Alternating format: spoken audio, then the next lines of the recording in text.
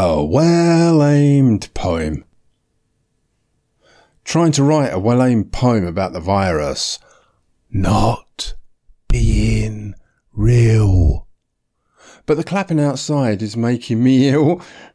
It's the rhythm of our doom, and they sound in such a rush for it that I hope it happens soon.